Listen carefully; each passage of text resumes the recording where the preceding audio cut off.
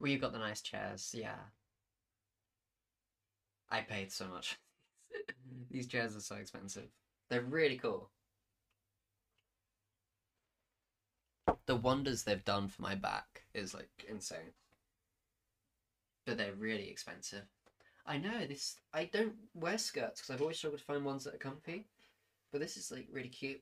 It's from Killstar. I got shorts on underneath, so I'm protected against any sus moments.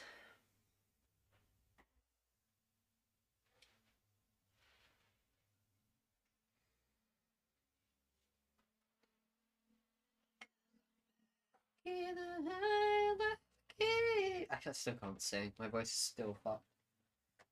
This blows.